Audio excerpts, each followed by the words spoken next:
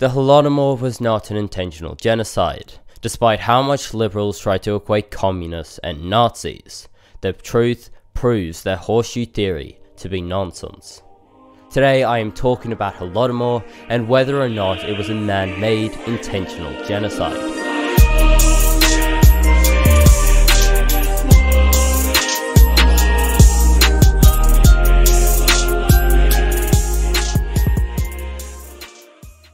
To understand the Ukrainian famine from 1932 to 1933, we need to look at the socio-political and economic situation in the Russian Empire and the early Soviet Union.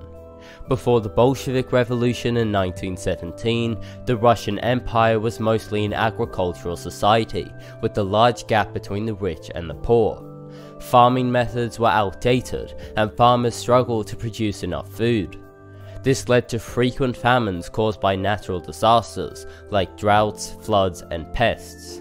These famines happened almost every 2 to 3 years in different parts of the empire. For example, famines occurred in 1901, 1906, 1911, and 1917. They affected various regions and caused a lot of suffering and loss of life. One of the worst famines happened from 1921 to 1923, during the early years of the Soviet Union, mainly because of the Russian Civil War. This famine was particularly devastating and is considered one of the worst in Russian history. Understanding the historical context of frequent famines and the social, political, and economic difficulties of the Russian Empire and early Soviet Union helps us grasp the complex factors that contributed to the Ukrainian famine. It highlights the importance of considering technological limitations, natural disasters, and the need for agricultural improvements when examining the causes of the famine.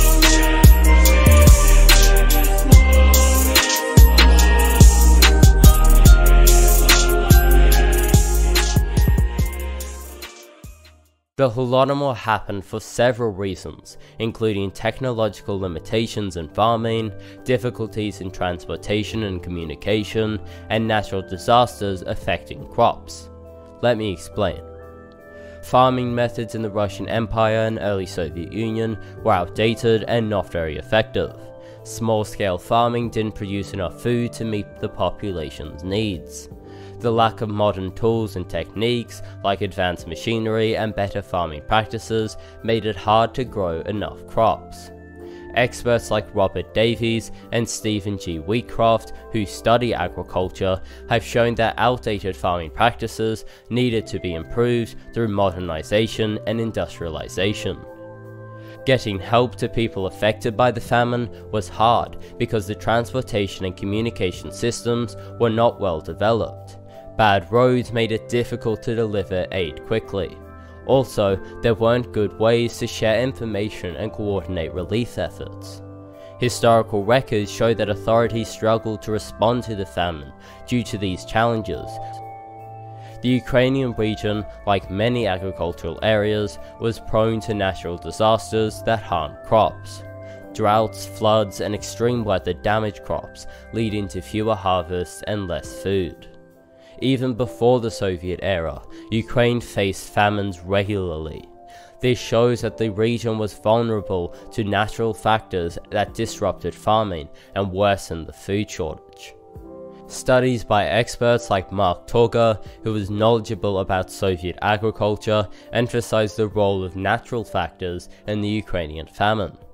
Tauger argues that these factors, combined with technological and infrastructure limitations, made the food crisis worse.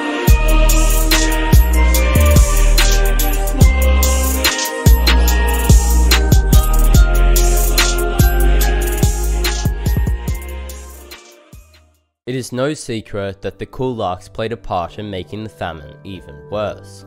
The kulaks made up about 10 to 11% of the population, and in Ukraine there were more kulaks than in any other parts of the Soviet Union.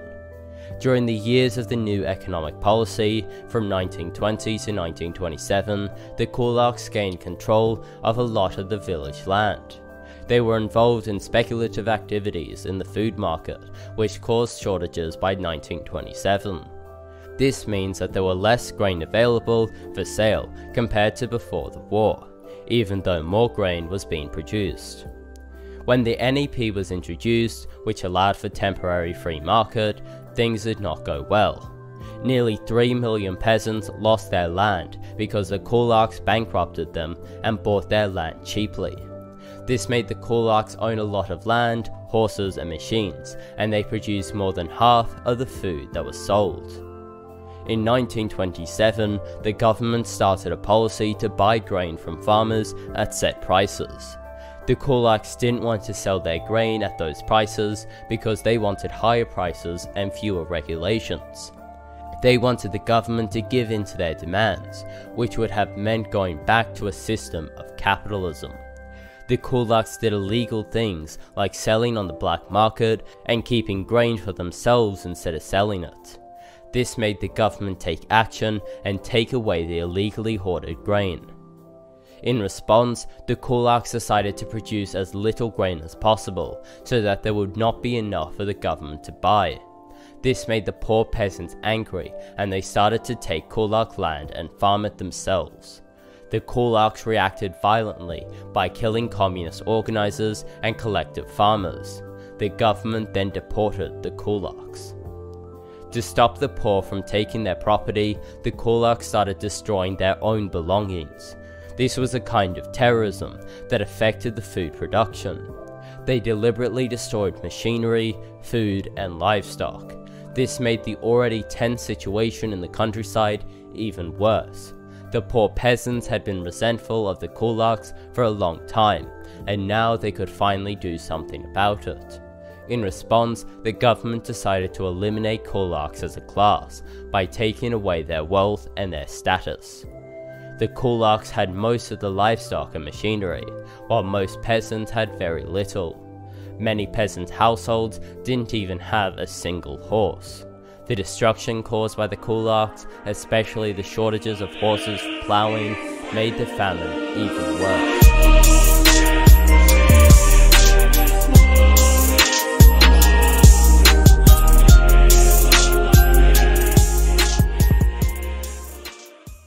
The use of photographs to depict the Ukrainian famine has been a prominent tool in promoting the concept of the Holodomor as a deliberate genocide. However, a critical examination of these photographs reveals a significant issue. Many of them were published by pro-Nazi sources or their supporters, such as the American Hearst Press. The intention behind the circulation of these images was primarily shock value, rather than a genuine representation of the causes or severity of the famine. It is important to note that the existence of starvation, as captured in these photographs, does not automatically validate the Holodomor theory. While the famine was undoubtedly a humanitarian disaster, using these images to evoke sympathy for the Holodomor theory does not make the theory any more true or accurate.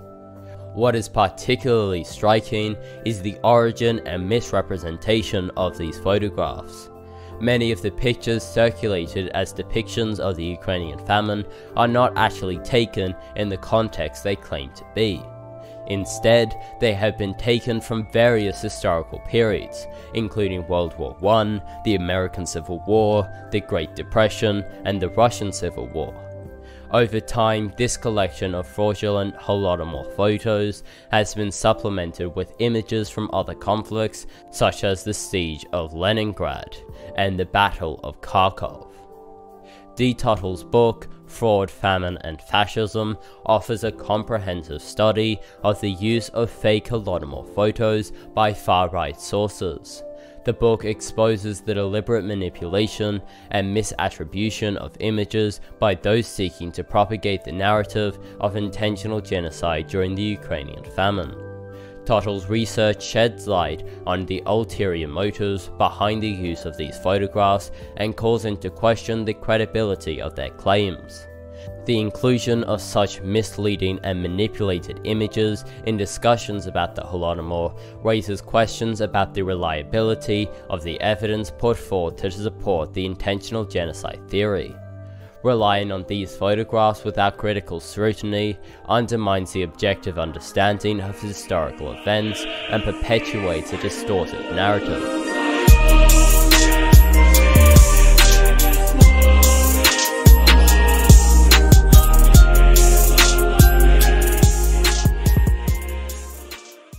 The anti communist narrative suggests that during the famine, the Soviet government intentionally exported substantial amounts of grain while Ukraine suffered from starvation. However, a closer look at the export data reveals a different reality.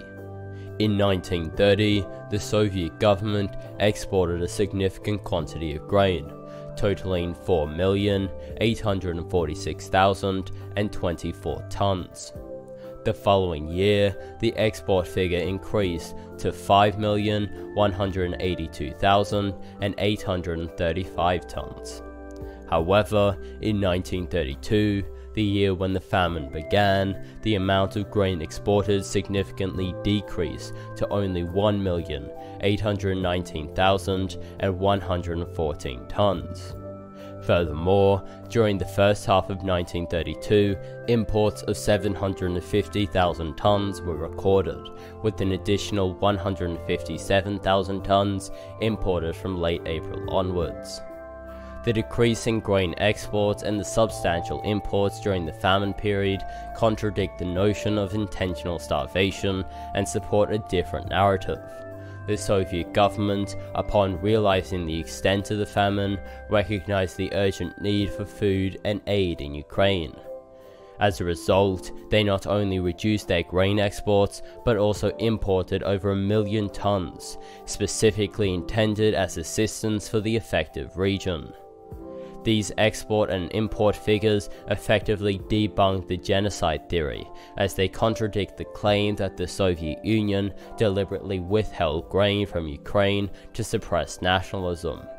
Professor Mark B. Tauger, in his work What Caused Famine in Ukraine, highlights that the official statistics clearly indicate that the procurements taken from 1932 harvest were actually less than the procurements in any other year during the 1930s. However, the question still arises why did the Soviet Union continue to export grain during the famine? To comprehend this, we must consider the USSR's need for capital to fuel its ambitious industrial projects and acquire necessary machinery from the West. Two primary sources were identified to meet this capital requirements selling valuable commodities such as oil, gold, minerals, agricultural goods like cotton, and other products to the Western market, and selling consumer goods within the Soviet Union's internal market. Initially, the plan did not involve exporting such substantial quantities of food grain. Most of it was intended for the domestic market. However, the Soviet Union faced a significant obstacle when Western powers imposed a blockade on Soviet oil and the country's gold currency. It is crucial to understand that the Soviet government collected and exported grain not with the intent of intentionally starving a portion of the population, but rather because it was the only means to secure the necessary funds for equipment and supplies. Stalin's hopes rested on a successful harvest, which unfortunately proved to be meager due to the drought. The USSR encountered difficulties in purchasing food with gold, owing to the gold blockade, or currency, as a result of the imposed embargo.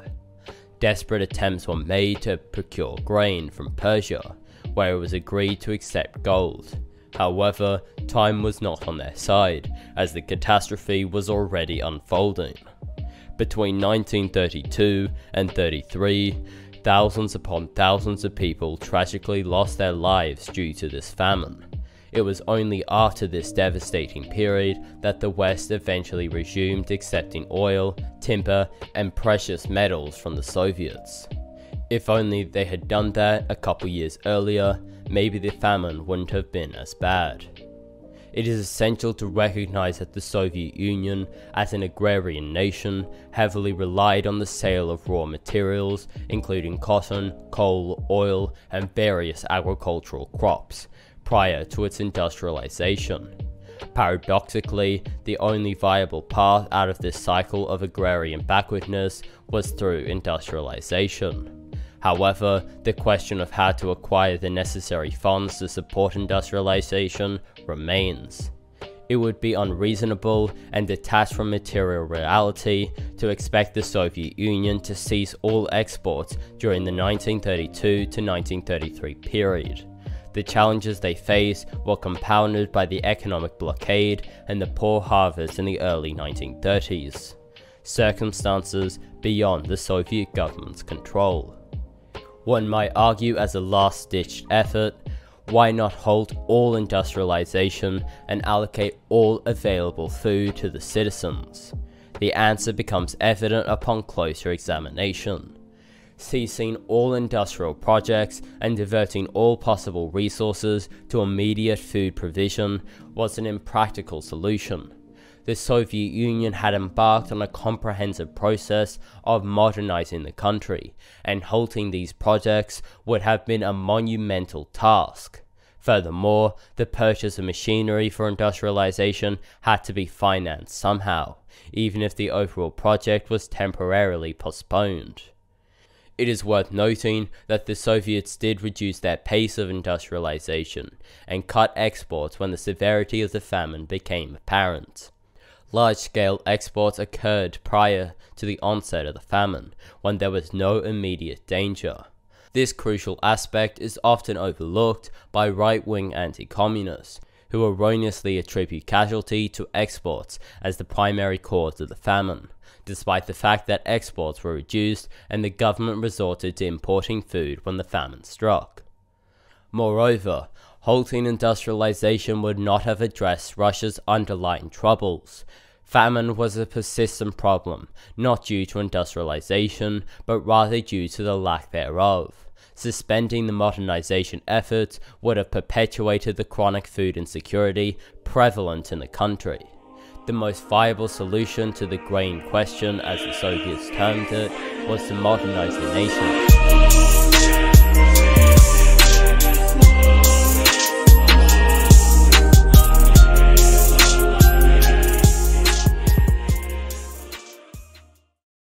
But anyway, that's the end. I do want to read this quick bit before I finish off. The famine was not deliberate or man made. It was caused by difficult weather conditions and the general backwardness left by Tsarism in the country. As there exists no evidence of deliberate genocide, and the case relies entirely on the false assumption that the USSR kept exporting more and more food grain, completely disregarding the famine, I can confidently say that the Holodomor has been debunked as a myth and a fabrication. It is revealing to look at who the people spreading this myth are. In the 1930s, they were the Nazi press and their American collaborators. In the modern era, their work was carried out by Cold War anti communists and far right Ukrainian émigrés. The myth is still widely propagated by those elements, together with Ukrainian neo Nazis. The Holodomor myth is the work of Goebbels. Anyway, if you did enjoy this video and you appreciated all the research that went into it, please subscribe and hit like. And check out my video that I've made on Stalin last week. I think you'll find it interesting.